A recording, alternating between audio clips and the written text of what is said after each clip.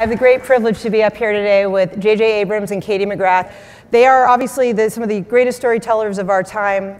Uh, one of the things I think about is the people in this room are the makers and funders of the problems and opportunities we choose to solve in the tech world.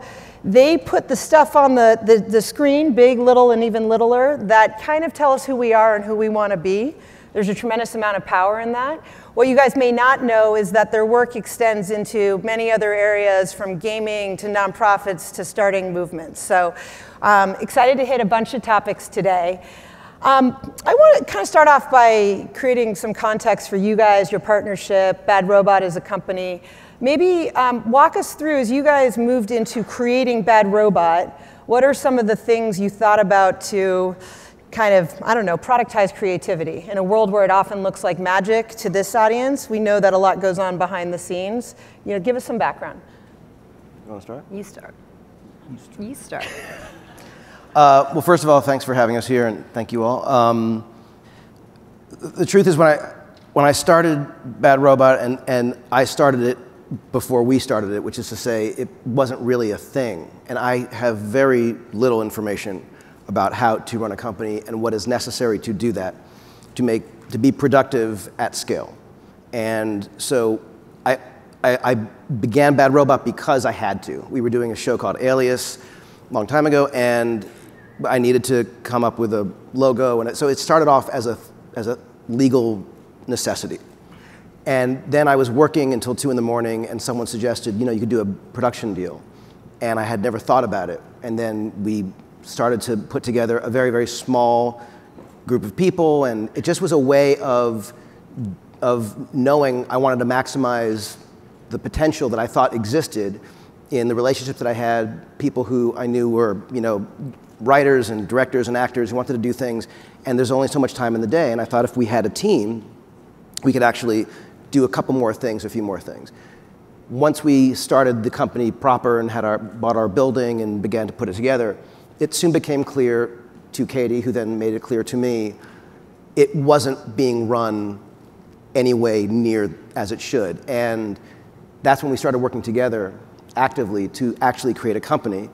Um, and look, the, the, the answer to your question ultimately is finding the right people with whom to work, who you, you can rely on, who deserve to be there to do the great work, who can then hire and work with people who also are, should be there and are worthy. And it's, it's sort of, uh, it's, it's a bit obvious maybe and boring to talk about, but it, it didn't begin with a vision. It began with a kind of, you know, doing it because I was told we needed to do it. And it soon became something that was this, you know, this exciting passion of how do we, how do we scale it? And, and, and it's not just creative, it's the culture of the company. And that was where, you know, in working together, I think we've been able to create something that I'm really proud to be a part of. And maybe, Katie, jump in and talk about, I mean, I think one of the things that's really special about you guys are your collaboration and your partnership. And we live in this world where the Elons and the Zucks of the world, the creators in our industry, they're not just celebrated and romanticized, they're compensated very differently than maybe the builders and the operators who help take it from small to big. Um, would love to hear, I don't know, maybe how you do it, words of inspiration to have people, how do you think about building a high performance team where you find this kind of partnership?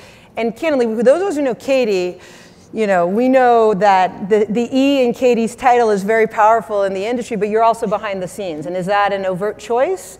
Um, do you feel a responsibility for your role to be more romanticized in the world now that, you know, we hope more people find collaborators like a Katie McGrath? Um, so take it and go with it wherever you'd like. Got it. um, so I would say that, you know, in any partnership, and we obviously are partnered across a couple different platforms. We're married, we're parents. The marriage platform. The marriage platform. it's a VC crowd platforms.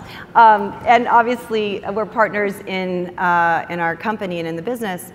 And regardless of how many of those boxes you check, I think that the most important thing is that you share the same North Star, that you share the same definition of what value is.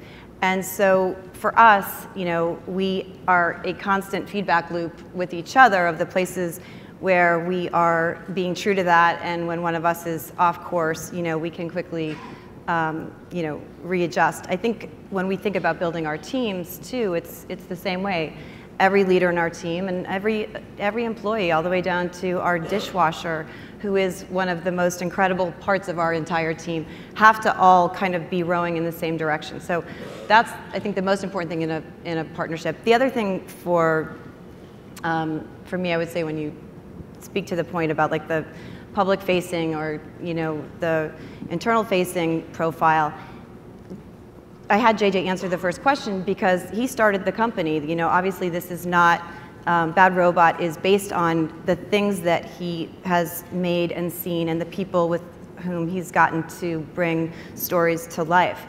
My role is, you know, is very happily the one that it is, which is heavily internal facing because I don't think what we do as a company externally will be meaningful if we actually aren't grounding ourselves constantly in what our North Star is, what we care about, how we leverage you know, our values and our ethics against the opportunity um, that we have to scale reaching global audiences ultimately. So, you know, I don't want to be in the background because I'm afraid of being in the foreground. It's just, it's terribly uninteresting to me. And I, I you know, and, and by the way, we don't need it. Like, yeah.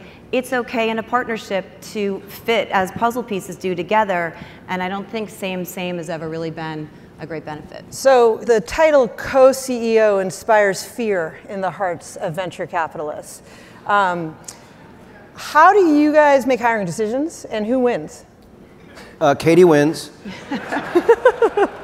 Uh, as you can tell, Katie wins. Uh, no, I think that the, if I can just yeah. because this is, uh, you know, as you were talking about trust, I, I almost can't imagine what it would be like to try and run any company in any other way. And this is the only time I've experienced this. Uh, I think of the things that we've gone through over the years just as parents. You know, like as anyone who's married probably knows, you walk into the room your spouse is in an argument with one of the kids, you are instantly aligned with that partner, with your, with your spouse. Like you, you know, you don't know what the hell they're talking about. you know, you, you, just walk into the kitchen, you're like, yeah, you should make sure that you're, you know, you're suddenly like on their side. And that, that kind of stuff has happened so many times. And there have been situations at the office where, you know, I don't see a lot of this stuff. And you are always picking up on and you smell smoke a million miles away and when I hear you say, this is a problem, I know it's a problem. And it's usually a problem before it's a problem. It's, it's going to be a problem because you're so good at that. And so I think that the trust issue is just is, is enormous. And I, I just I think that it's, you know, the fact that we live at home the way we do at the office, it's like there isn't any kind of change. It's all yeah. kind of one thing. But I think that the trust thing and really believing and, he, and having a partner who will tell you the bad news you know, having someone who will say to you, this isn't good enough, this isn't working, you're doing this and you shouldn't be doing that. I mean, and that is like, I, I don't know, you know, it, what it would be like to be doing, it wouldn't be, it wouldn't be working. Yeah. And, yeah. and so it's a, it's a huge. So we have a, bunch of other things to hit. We're going to move on. One last quick question. Um, if there are tech CEOs in the audience, what would you t- tell them to inspire them to give away half of their company to their Katie? Uh, well, I would say that the, the, the company was became what it, what it, what it is. It's, it's, it's still evolving. We're always figuring it out. We're always making mistakes. We're, we're, we're as it's evolving. But it wouldn't be what it is if it weren't, I think, for the two of us. And I, I don't, I don't look at it that way. What, the way I look at it is if, if you can find the person, ideally you marry them, then you start the company. But, but, but if, if you have that partner that you, that you do trust and I guess on some level really do love and appreciate because they're willing to tell you the tough stuff and they're smart enough to know and, and really examine the truth um, and have that kind of compass, uh, it, it, what it becomes is so much more valuable than it ever would have been if you were just the creator alone or just the, you know, the one person. And I think it's, it's, it is a bit of a, a, divide and conquer job. And I think that's, by the way, one of the reasons that we work well together is because we each appreciate what the other one does well and gives each other that kind of space and is always willing to make a comment and be respect each other's opinions. Yeah. No, I think that resonates. And, and I, I actually said to my partner, Mark, recently, I think our partnership has a lot of love. and partnerships are the most unnatural structure, power structures that exist in the world. And um, so, you guys, look for your look for love in your venture capital firm too. Um, okay, so shifting gears, um, Katie, what do you think is the most influential to you, like piece of work that you guys have put out in the world um, in your time doing this? I didn't prep this question. So it depends what you again what how you, you how you, you define influence. Yeah, your um, your your definition. So for me, and this is just my perspective. It, there's no measurement behind it. I think when um, JJ was invited to direct The Force Awakens, that was something that the entire company and obviously the production and the crew took very seriously as an opportunity and a privilege to know that there was going to be a global audience in a way that no other title that um, or project he'd worked on, you know, had the same scale. Um, and so the way, and I will, you know, I obviously have an influence and I have a voice. Um, and in the earliest stages, I think we did talk about if we have this moment, this privilege, what do we want to do with it? And not from a place of being preachy or feeding people spinach, but it, just from a place of this anytime you have a privilege, you have an obligation, period. That's just kind of how we try to live our lives. And so in this case, I think the way, and I let JJ speak to this more specifically, that he thought about building this story with a female protagonist, with um, you know a set of four you know main characters, one of whom was you know um, Latinx, one of whom was um, you know a, a Nigerian Londoner, uh, one of whom was a woman, a white woman, and then there was a white guy. And we, we, we still have room for white men, and we love the white men still. Um, but, you know, it was really to think about how can we find a way to have every kid who's going to go see that movie see a version of themselves in a way that, you know, just isn't often considered at scale. Do you want to think about that? Uh, nope. But no, I, I, I agree with you. And um, my answer, sort of coming at it, um, and I know it's not Bad Robot proper, but watching what's happened with Time's Up um, has been so incredible to me. Um, this, this movement that began, you know, with a bunch of people, uh, including Katie, in and around uh, the work that we've been doing, and just seeing seeing in, you know, in really you know, tangible, quantifiable, important ways how it's affected people's lives, uh, the way they see themselves, the way they speak up, and, and you know, having a, confidence to do so, knowing they're not alone, uh, to me is wildly impressive. And also uh, within Bad Robot itself, which is sort of small, just seeing the impact of the culture of the company. Uh, and, and I think that ultimately does resonate in the work that we do. Yeah.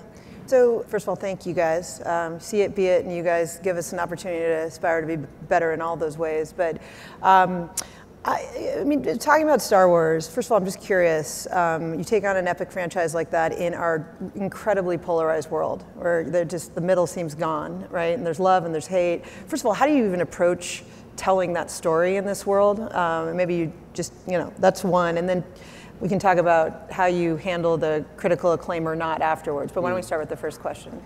You know, it's uh, being in, involved in, in Star Wars. Uh, it's it's been such a, a, a blessing, and, and I'm, I feel incredibly honored to have been part of it. I think every project that you work on, um, and I'm sure that everyone in this room or tent, let's be specific, it's a tent.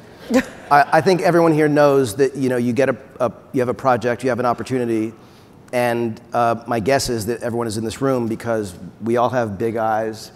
There's a sense of uh, audacity that we can pull something off. Um, and there are the realities of the situation, whatever it is, the, the, the, the context in which you say, I'm going to try and tackle this. Um, like everything, it's a team effort and you go into every project, and, and Star Wars is, is no different really, um, doing the best you can with everything that you have. A lot of it is in your control, a lot of it's not in your control. You have a ton of you know, if you're lucky, uh, you have people that you're working with. Uh, in the case of Star Wars, literally, if you watch the end credits of those movies, uh, they're still running. I mean, the, the, number of people in the end credits, and, it, and each of those is a person who spent many hours away from their family to participate in this thing and, and, and help it. But you've got people who you can rely on, uh, who give you comfort, who make you feel like I'm not in this alone. Um, it's obviously uh, when projects work and it, they touch people and people react in a way that you were hoping, because all we're doing uh, while trying to be aware of the context in which the films and shows come out, we're just, just trying to entertain people. Uh, we will bring our values as much as we can, not preaching, but we'll bring them to the projects. But the truth is that these are things that, that are meant to entertain people, to make them feel something and, and hopefully feel good. Um, obviously, it doesn't always work. It's, it's hard when it doesn't. And when it doesn't, you have to understand it, you have to acknowledge it, and you have to, you have to examine it. And I think that the, you know, if you don't take the time to really stop, and not just necessarily privately, but even with the pe people you're working with, and, and try and, and interrogate it and get to some clarity. It doesn't need to be an epiphany, it doesn't need to be like, from now on, I'm going to, and, and because I'm naturally a fairly impatient person, and I want things to kind of be moving forward, like intellectually, I know, I'm, I'm going to go on for one more second about this. I know I'm talking for too long. Intellectually, I know we all agree on certain things. Like sometimes limitations are actually helpful because they, they, they force you to be more creative. Being told no, we all want to be told no, you know, because we want to, we want to make sure that we're like being checked and that we're, we're getting the best of people. But the truth is, hearing no hurts. Hearing you're not doing a good enough job is painful.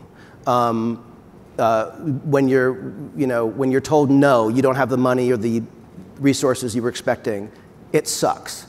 Because you want, but those things, those difficult things, are what makes us grow and what allows us to actually consider and reconsider process. And, and that to me is invaluable. So I, I, I just feel like, you know, no one wants any project not to work, but when it doesn't, you have to you know, try and figure out, well, maybe there's, maybe I shouldn't say yes to something if I know that the context doesn't, you know, you have to argue with your hubris, you know. Um, and when things work and it's extraordinary and people have a, a, reaction that you were hoping for, or a series that literally, when we were doing Lost, I, I got a phone call from the head of ABC who said, um, while we were shooting the pilot, and he said, please film an ending so we could air it as a movie on, you know, on the network. And I was like, but film a scene that ends the pilot and make it a, what, tell me what you want me to shoot and I'll shoot it. And I never heard back and we didn't have to do that. And then they aired it as a series and it worked. And when it worked, it was this extraordinary thing that this ridiculous thing that Damon Lindelof and I had come up with in, in a crazy short amount of time actually meant something to some people. It was thrilling. So it's, it's the fun of it working and the kind of fear that it might not, it's all part of the same process. Yeah, I think that probably resonates with a lot of founders in the room who want to raise a $15 million Series A round and only raise a $7 million Series A round. So uh, capital constraints and fear um, are powerful if you're mm. not afraid to, to, for it not to work. Um, so, um, you know, I, one of the things I wanted to hit on with you guys is, is sort of the world's changed a lot since you started your company. Um, you had many fewer screens. And Lost kind of, you know, it, it's potentially, you could argue its most influential show to have gone on to television because this whole culture, you probably would like to argue about that, but we're not going to. Um, the, the whole culture of water cooler and in between and multiple screens kind of came out of it. Um, what, how do you guys think about what you produce for today? What is product? What is marketing? What is content? What is gaming? Like, how do you think about that from a business standpoint? I'll start. I, I think the first thing you can't think about it like in our business is the product. Um, though I know that's the common kind of unit maybe for this crowd, but I, you know, and again, I, I think JJ should speak to this, but you have to fall in love with something first, and you have to, you have to decide that, you know, the thing that you're going to risk pursuing is going to keep you interested and excited. And if you do fall in love, then I do you know, and you can't control for all the variables, that builds momentum and that informs, I think, a lot of the way you think about talking about it, the way you market it, the way that you plan for it. But at the very beginning, the core of it has to be something that's undeniable. At least that's you know how we think about it at our company. So as you get into things like gaming, mm-hmm. when do you decide to do something in gaming versus just to put it you know on you know a more traditional screen? Well, our gaming company is separate from our company. Um, and we aren't looking at it like that because I think, and again, you know, jump in, babe, here, but the the idea needs to come first, and then it's an idea. Then the next question is, where does it live best? Um, and there are crossovers all the time. There's a TV show that then, oh, we can exploit it through a game, or we can exploit it through a short form, or maybe that becomes a film. That's not the question. It's a question eventually, but that has that comes down after you've found success with the thing that you are pursuing and in love with. Um, and, in, we have a games team that is constantly developing in the way our television our films teams are. So I think across these different you know parts of our company, everyone's operating from that same principle. Ooh, what would be fun? And then you know down the line with success, you figure out ways to exploit it.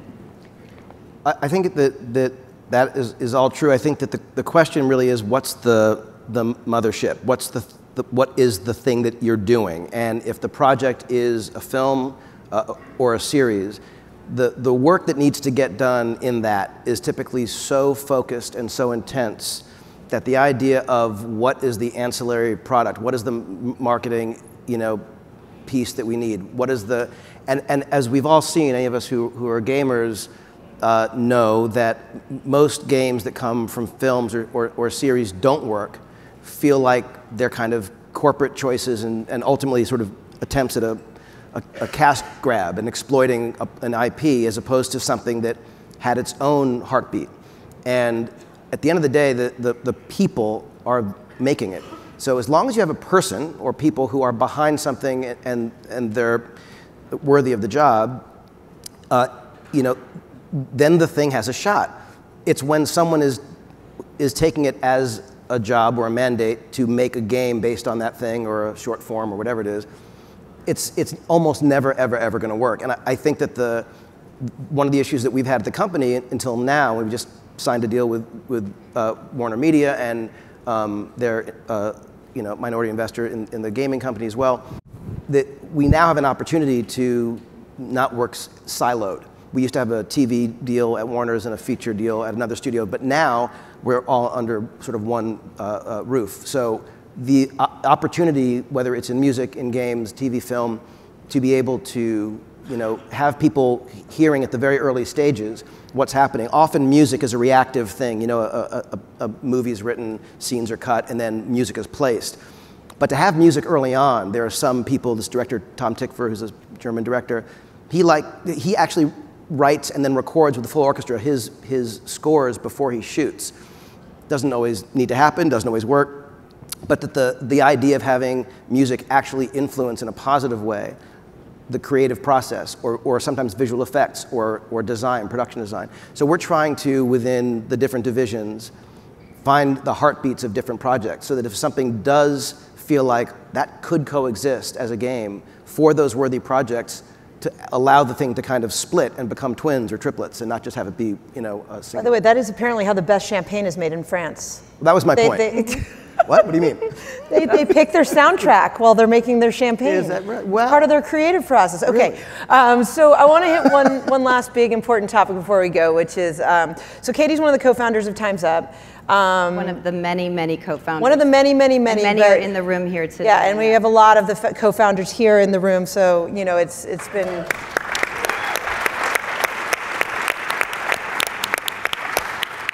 Um, and uh, an inspiration to me as a friend, um, I give her more credit than she likes to take for really um, getting me to ask for less permission and more, for, more forgiveness. So, I mean, on this note, we have an audience here who's heard a lot about gender equity, and I worry that people are becoming numb to it, and that what we need are bursts of energy to just do a little bit more. Whenever we have those, that energy and to be kind to ourselves. So, um, Katie, you can blow up whatever you want to on this topic, but maybe um, give us a burst of energy. How do you be a male ally? What's one little thing people can do? Give us some inspiration around this. Are you asking the male ally or? Um, male ally or okay. blow it up, wherever you want to start. You want to start? You go. I'll start. um, here's the thing. This is not complicated. This is about intention and prioritization.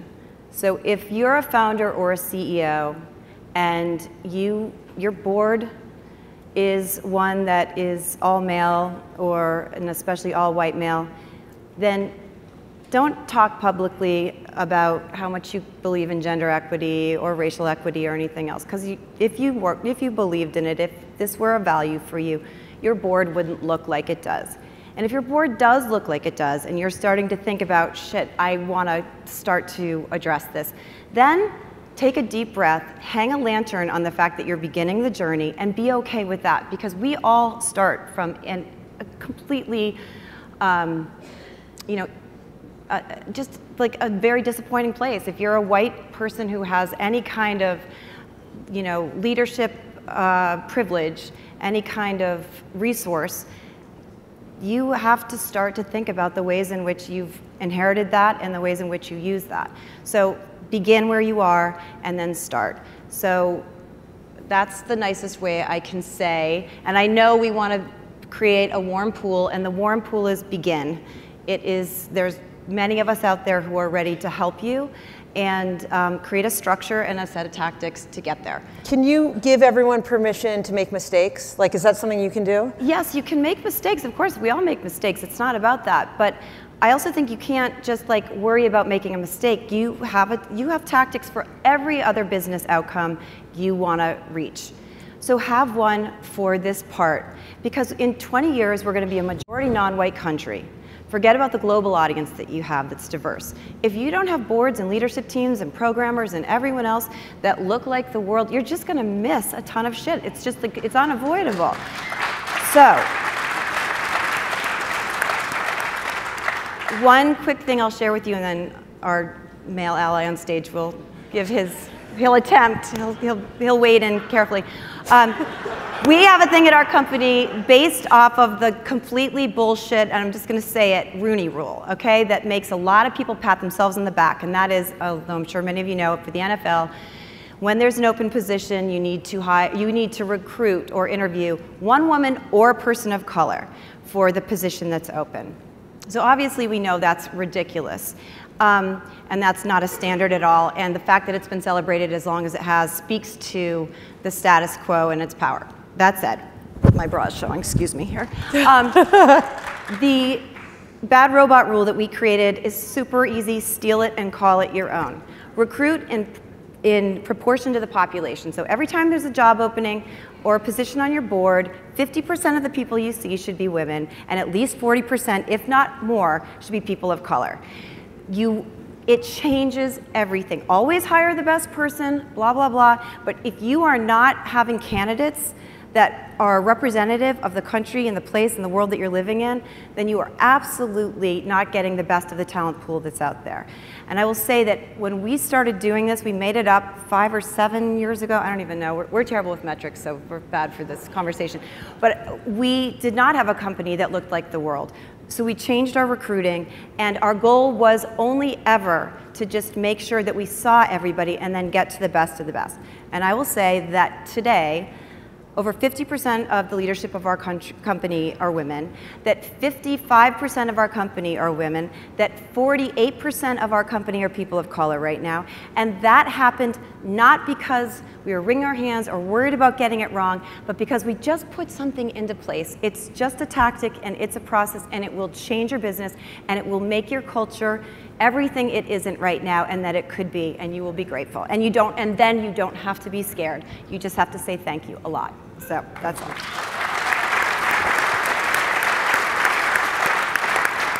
JJ, bring us home with some sort of allyship. Try to be funny. It's the last bit. Just marry Katie McGrath and it'll all work out. Uh, I, I, I will just, all I can do is, is echo that and say, you, if you do the thing, if you just start doing it, and to, to be in meetings, it, it makes me emotional actually, to, to be in meetings and to look around and see people who were never on a usual suspects list. They were never people that you would think would normally have this job. They were, they were not people, but they were A, the best people, they were great, and they were there because we made sure they had a shot. And to, to see this company, and by the way, to see how much it means, I can't tell you how many people comment on the fact that our company looks like the world. And, and it's something that, like, uh, you know, we're always trying to figure out what did we screw up lately? Mm-hmm. How do we fix that thing that we didn't do quite right? And oh God, what? But the truth is, to be in conversations, especially when they're about, we're all talking uh, at a certain point about, about user interface, whether it's a, a, a product, a, a, piece of software, a, film, a show. It's always how does a human interface with the thing? When you have people that don't look like you, whatever you look like, and you're sitting around this table, you are going to hear points of view, especially if you encourage and really, like anyone in this room, I, I think we all forget sometimes the power of our voice. And it's really important to remember, you have to remind people again and again, do not hesitate to call me out. Do not try, don't worry about embarrassing me. Like, be tough. Be the, the person that you, you want representing uh, you and your point of view. But to be in a room with people who are suddenly bringing up ideas or issues or things that you, you never would have thought about, it is invaluable. And, and it saves you so much money and so much time because you're getting that kind of point of view there at the beginning, the inception of the thing, as opposed to down the line when the thing has been developed and suddenly people are even you know, more reluctant to share their, their point of view or your, your public tells you in a, in a horrible way just how wrong the thing you did was. So I just, I can't tell you how much it's benefited our business by having the people that we have at our company, and I could not be more grateful to them and to Katie because I would not have even known how important it was if I hadn't heard it from you. Thank you guys. You guys are incredible. Appreciate you being here.